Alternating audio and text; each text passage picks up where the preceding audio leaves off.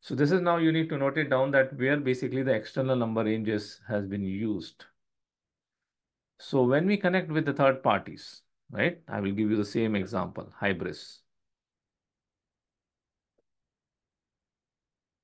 From Hybris, we are getting the orders into S4 HANA. So this order, pre-order has been created. The order first has been punched in Hybris and it has been punched with the number 7321131, right? And when it comes to the S4 HANA, although it is automatically punching, but we want to give the same number. 7321131. We want to give the same number in S4 HANA.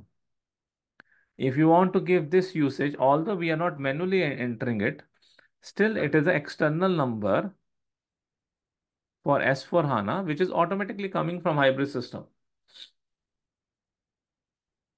External number, which is automatically coming from Hybris system. For S4 HANA system, we are not giving the number, but Hybris is giving the number. Ki bhaiya, use this number. So this will become an external number. So for this kind of interface, we need to use here the external number ranges. Okay, and we would we might be removing the internal number range because we don't want to use it.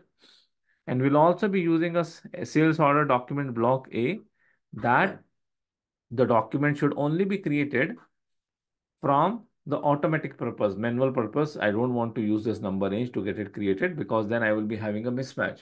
Somebody created that number range order in the S4HANA system, but when Hybris is coming with that order, it will error out ki bhaiya order to already hai.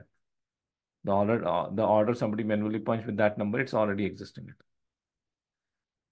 So that is the reason that we can use the external number range when we connect with the external system. Whenever we punch with VA01, in general, in my projects, I have never seen that user is giving a manual number and then user is saving it.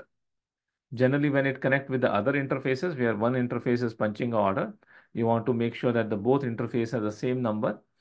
We use the internal number ranges for S4HANA system. Again, it is automated. User is not giving, but to S4 HANA system, the other system is giving the number.